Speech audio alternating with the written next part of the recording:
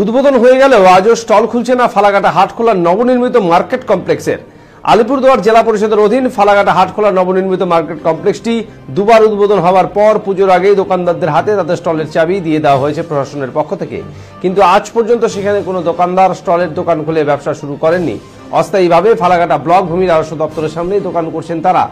সেই মার্কেট কমপ্লেক্সের ভিতরে এখনও গড়ে উঠেছে অস্থায়ী সাইকেল ও বাইক স্ট্যান্ড এবং সন্ধে নামতেই সেখানে বসে মদ ও জুয়ার আসর মার্কেট কমপ্লেক্স জুড়ে যত্রচত্র পড়ে আছে মদের বোতল। আবার গবাদি পশু থেকে হাটে আসা মানুষজন প্রায় সকলেই এর ভেতরে মলমূত্র ত্যাগ করে থাকেন। দোকানদারদের অভিযোগ, নতুন এই মার্কেট কমপ্লেক্স ইলেকট্রিফিকেশনের কোনো ব্যবস্থা করা হয়নি, যার ফলে দোকানদাররা এখানে ব্যবসা করবে কীভাবে?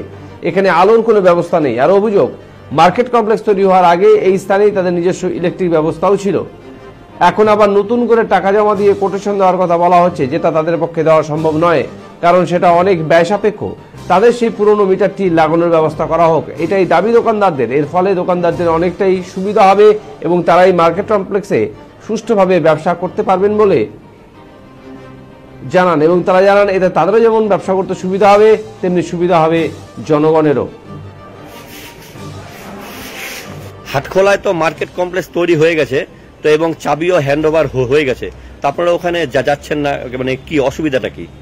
আমাদের অসুবিধাটা ওখানে এখনও ট্রান্সফর্মার বসেনি। আর ইলেকট্রিক যোগাযোগ নেই। ও এখন ইলেকট্রিফিকেশনের কাজ হয়নি। তার আগে হ্যান্ড ওভার হয়ে গেছে। হ্যান্ডওভার হয়ে গেছে এর জন্য আমরা যাচ্ছি। মানে ইলেকট্রিফিকেশন হলেই তারপরে যাবে? ঠিক হলেই যাব আমাদের লাইনও আগে থেকে আমার নেওয়া আছে এখন নতুন করে আবার হবে আবার। মানে এখানে হ্যাঁ, কারেন্ট নাই। কারেন্টের ব্যবস্থা নাই? না। ও সেই জন্য এখানে এত দোকান পাড়া রাখো আসতেছে না। না লাইন দিবে বলছিল দশ পনেরো মিনিট দেরি হবে। তাহলে উদ্বোধন হয়েছে সেই অনেকদিন হয়ে গেল। হ্যাঁ, পূজার আগে। পূজার আগে চাবি হ্যান্ড ওভার হয়ে গেছে। হ্যাঁ। তাহলে কারেন্টের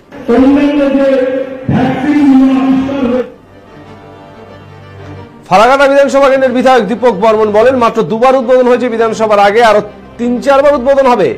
মাননীয় মুখ্যমন্ত্রীর অনুপ্রেরণায় এটা হয়েছে উনি জানেন এটা কবে পূর্ণাঙ্গভাবে চালু হবে। তৃণমূলের কাজ শুধু টাকা মারার। সেই টাকা মারার কাজই চলছে মার্কেট কমপ্লেক্স থেকে। এখানকার যারা প্রাপ্য ব্যবসায়ী তাদের কাছে সঠিকভাবে স্টল বিতরণ না করে প্রচুর টাকা নিয়ে বিক্রি করে দেওয়া হয়েছে প্রচুর স্টল যেখানে তৃণমূল নেতা এবং জেলা পরিষদের কর্মীরা যুক্ত রয়েছেন।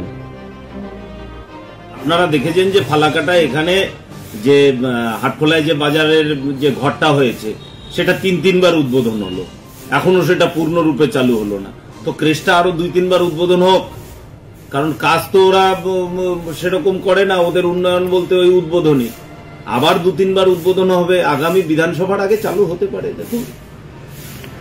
এটা মাননীয় মুখ্যমন্ত্রীর অনুপ্রেরণায় তৈরি হয়েছে, তিনিই একমাত্র জানেন হয়তো, আর কারোর জানার দরকার আলিপুরদুয়ার জেলা পরিষদের দলনেতা গঙ্গা প্রসাদ শর্মা বলেন, এখন ইলেকট্রিফিকেশনের কাজ সম্পন্ন হয়নি, এত বড় কাজ কিছু খামতি রয়েছে। আমরা ডিপার্টমেন্টের সঙ্গে কথা বলে ইলেকট্রিফিকেশনের কাজ খুব দ্রুতই সম্পূর্ণ হবে ব্যবসায়ীরা যেতে পারছে না কারণ হচ্ছে বিদ্যুতের লাইন নেই। বেহাল হয়ে পড়ে রয়েছে ফালাকাটা মার্কেট কমপ্লেক্স। কি বলবেন? নিশ্চিত সেটা আমরা দেখব। একটা অনেক বড় কোটি কোটি টাকা খরচা করে ওখানে মার্কেট কমপ্লেক্স হয়েছে। এতটুকু কাজ হয়েছে। সেটা ডিস্ট্রিবিউট ডিস্ট্রিবিউট অলরেডি হয়ে গেছে। ইলেকট্রিসিটিও হবে।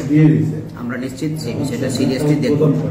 কিছুদিন মধ্যেই সেই ব্যবস্থা করা হবে। তাহলে বিদ্যুৎ তারপরে